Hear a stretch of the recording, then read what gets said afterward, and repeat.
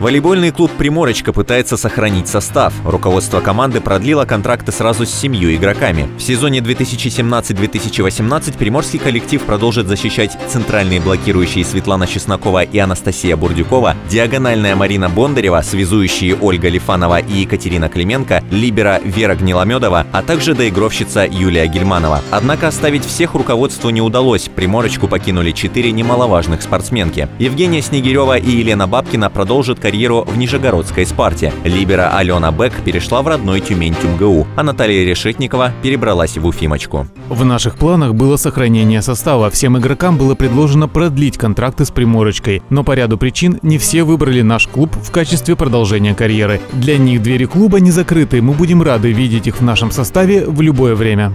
Старт нового сезона высшей лиги А начнется только в октябре. Напомню, что прошлый чемпионат закончился для Приморочки с серебряными медалями и лучшим результатом за всю историю команды.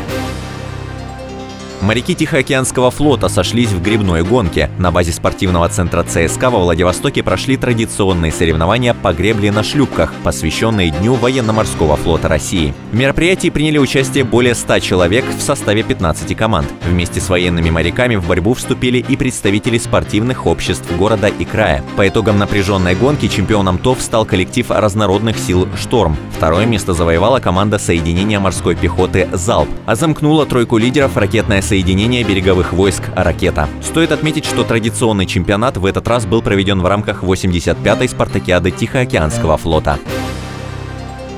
Во Владивостоке стартует серия любительских матчей по стритболу. Традиционное мероприятие «Гетто Баскет» будет собирать в центре уличного баскетбола «Спартак» всех желающих приобщиться к этому виду спорта. Такие встречи не имеют статуса турнира или чемпионата. Как отмечают организаторы, это спортивное времяпрепровождение с музыкой, матчами 3 на 3 на вылет, а также с розыгрышем многочисленных призов. Попробовать себя в стритболе смогут жители или гости Владивостока любого возраста. Главное – заранее или на месте собрать команду из четырех человек и вовремя выйти на корт. Традиционно матчи Гетто Баскет будут проходить без надзора судей. Нарушения и фолы объявляют сами команды. Все споры решаются самостоятельно. Принять участие в баскетбольных вечерах можно на Овчинникова 34 в любой четверг с 17.00. Максим Яковлев, новости спорта на восьмом.